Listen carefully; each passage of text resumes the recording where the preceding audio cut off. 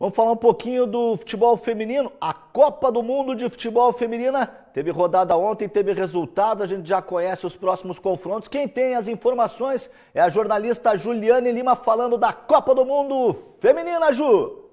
Olá, amigos do Placar Transamérica. Vamos falar dos dois últimos jogos que aconteceram nesta terça-feira das oitavas de final da Copa do Mundo de Futebol Feminino. No primeiro jogo, a Itália avançou às quartas de finais ao passar pela China pelo placar de 2 a 0.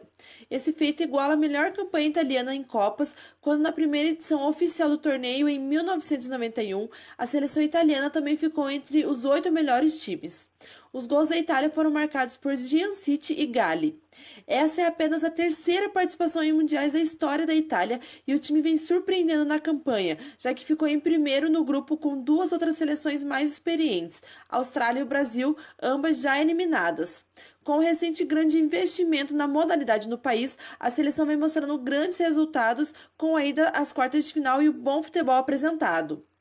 E no último duelo, a Holanda derrotou o Japão por 2 a 1 em um duelo emocionante e seguiu no Mundial. A equipe europeia irá enfrentar a Itália nas quartas de final da competição no próximo sábado, às 10 da manhã.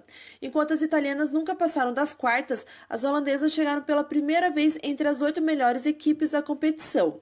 Da Copa do Mundo de Futebol Feminino é isso, e eu retorno com vocês nos estúdios do Placar Transamérica.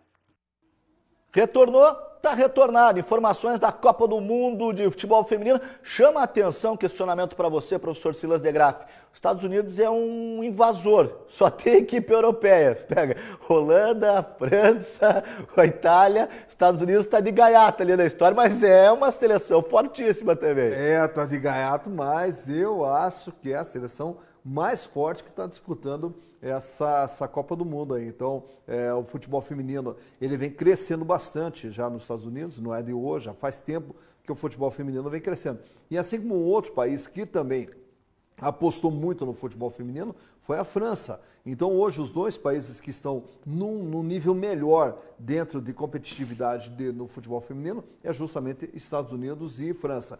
As demais seleções elas vêm num processo de crescimento ali. A Itália, por exemplo, é uma equipe que vem aos pouquinhos tentando solidificar o futebol feminino.